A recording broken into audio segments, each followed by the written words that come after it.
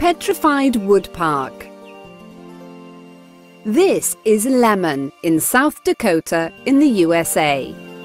It looks like any other quiet little town in the United States, but there is something unique here. This is the Petrified Wood Park in the heart of Lemmon's Town Centre. It's as impressive as any top tourist attraction. So just what is this petrified wood that makes up the park? Well, it is actually wood that has turned to stone over millions of years. There are several petrified forests in North America, and Lemmon just happens to be close to a lot of petrified trees. The Petrified Wood Park covers a whole city block. It is actually the largest petrified wood park in the world. The petrified wood is in lots of different shapes. People made sculptures and structures from it. It really does look amazing.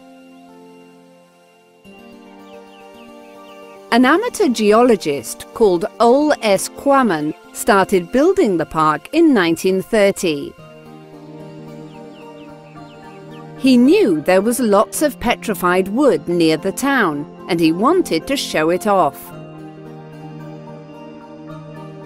He hired a group of 40 men and they searched the surrounding area for the petrified wood. Quammen and his men created cone-shaped pyramids, a wishing well, a museum and a fairy tale castle from the wood. The castle is particularly impressive.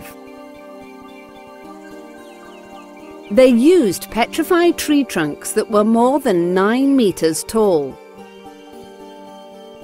They also used dinosaur bones to make its inside walls. And it's a real museum too.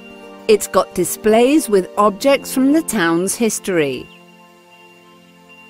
A newer arrival at the park is this waterfall that's got a petrified wood wall.